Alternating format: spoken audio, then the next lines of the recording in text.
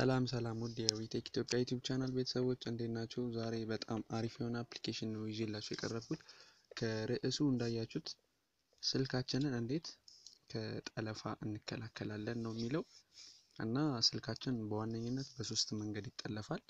በ location ያለንበትን ቦታ፣ በማይክሮፎን ድምፅ በመቅዳት እና በካሜራችን በመቀረጽ እንሰለላለን እና እነዚህን ሶስቱን የስለላ አይነቶች block የሚያደርግ አፕሊኬሽን ነው ዛሬ የማሳያችሁ። አፕሊኬሽኑ እዚህ ጋር የምታዩት Anti Spy የሚለው ነው። እስቲ ከፍተን እናየዋለን።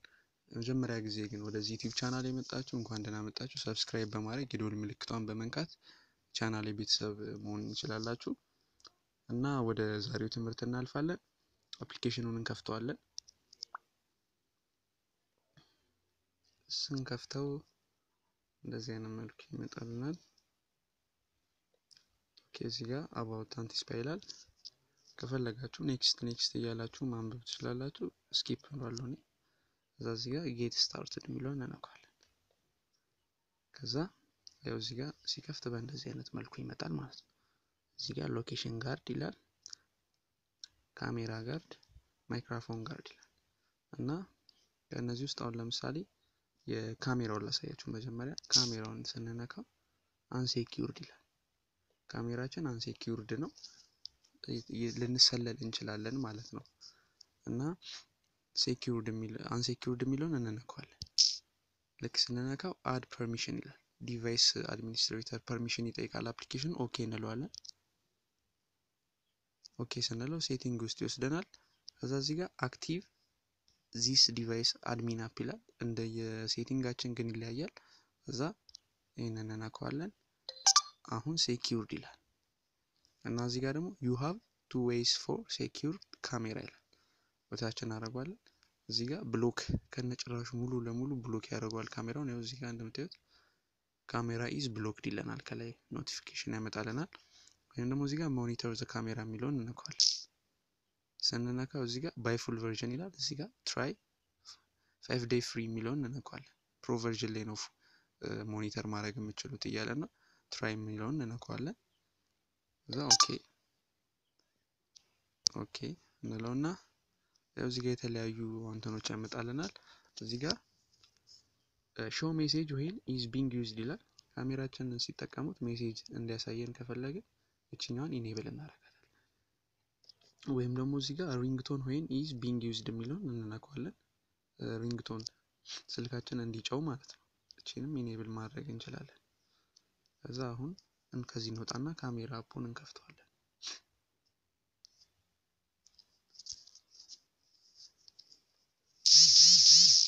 camera is not safe ይላል።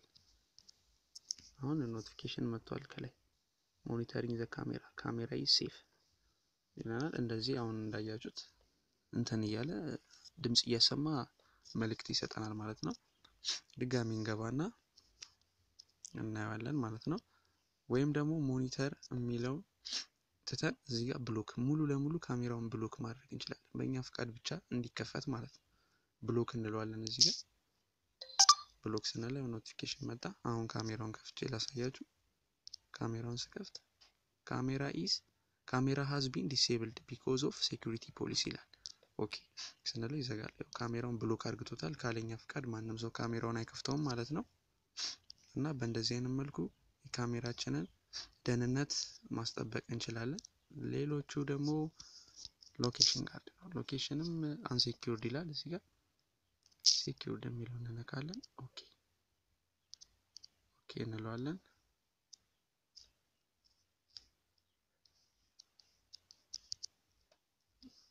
OK ካልነው በኋላ ይሄ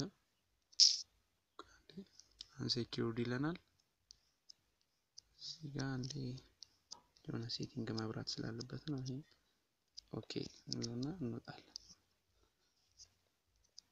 እና ካሜራውን እንደዚህ በእንደዚህ አይነት መልኩ ሶስቱንም block በማድረግ ደህንነታችንን ማስጠበቅ እንችላለን ማለት ነው። ከእንደዚህ አይነት የስለላ እንትኖች ማለት ነው። ማይክሮፎንም እንደዛው ነው። permission ይጠይቀናል። secured ማይክሮፎናችንን secured ሆኗል። እዚህ ጋር እንደ ቅድሙ እንደ ካሜራው monitoring microphone የሚለውን ነክተን